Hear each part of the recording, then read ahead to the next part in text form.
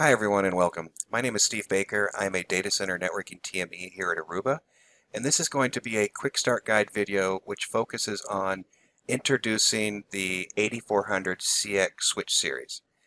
So let's go ahead and jump right in.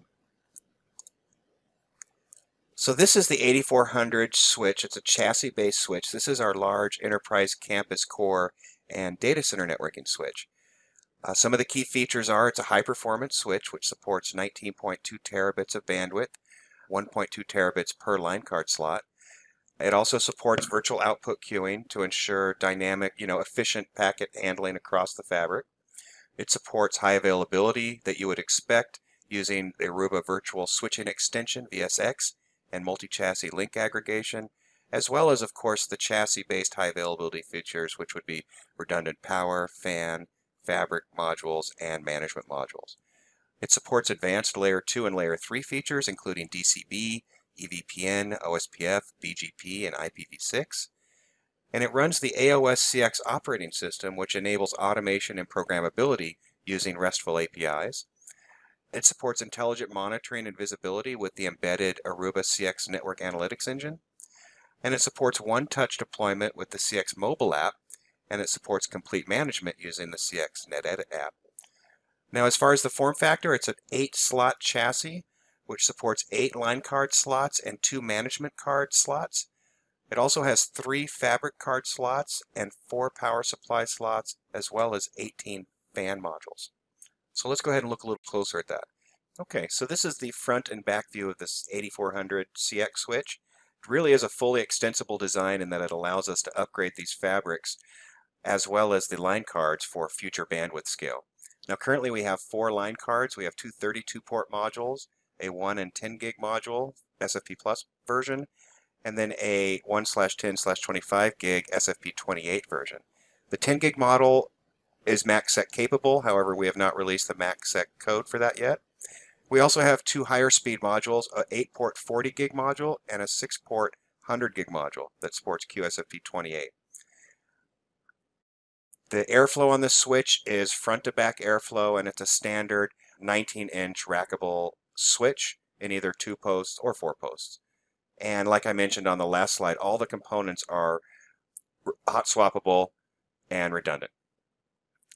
Looking a little closer at the switch, the power supplies are actually inserted behind the bezel on the front of the switch so you can add and remove power supplies from front access. The inlets for the power supplies are in the back of the switch. Here we have the eight line card slots on the front of the switch, and then in the center of these the switch are the actual two slots for the management modules.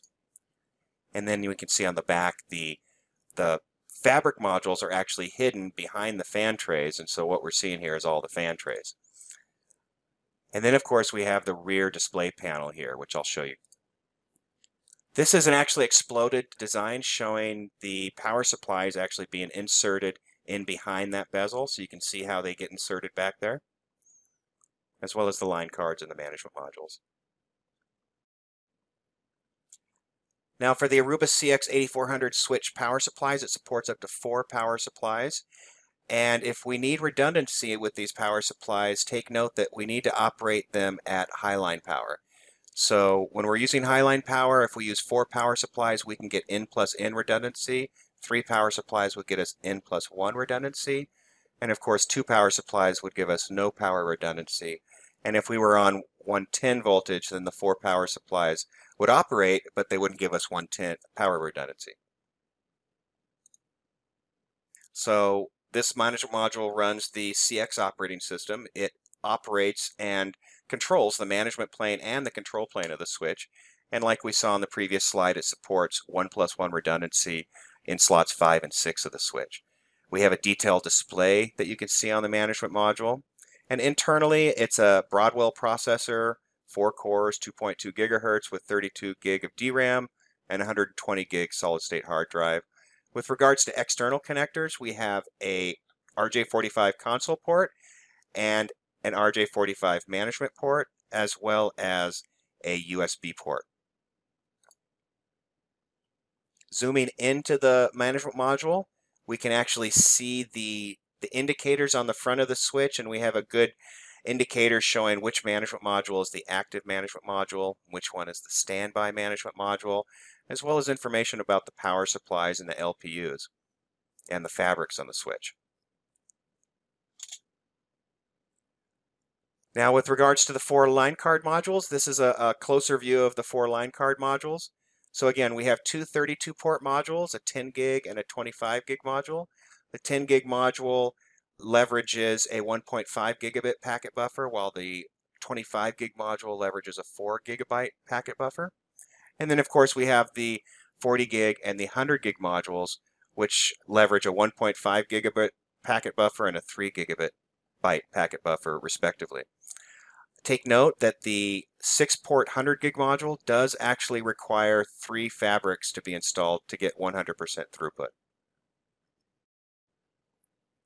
And here we have an exploded view of the rear of the switch. So here we can actually see the three fabric modules as they get installed into the back of the switch. And then behind that are the three fan trays that have the fan modules installed into the fan trays. And then of course we could see the power supply units and the rear display card here. Now the airflow on the 8400 is front to back, so keep that in mind when you're positioning the switch in the data center.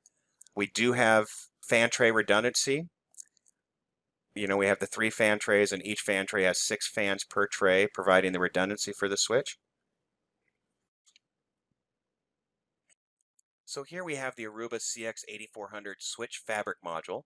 It's a single SKU, JL367A, but the switch supports three of these fabric modules. And we can see that they actually plug into the midplane using these orthogonal line card connections when they connect into the midplane. Here's a, an exploded view where we can get a closer view of those orthogonal connections as they connect into the midplane. And then here we have a view of the rear display card, which helps show you some status information about the power supplies, fabric modules, and the fans within the switch. And finally, we have cable management. You can't forget about that. Cable management in these large switches is really important. So these cable management bundles actually help prevent the weight of these cables from, you know, pulling in too small of a bend radius. They help actually lead the cables downward through the manager, so it helps you know you to access the power supplies, which are at the top of the switch. And of course, the posts are strong enough to support the weight of the bundle.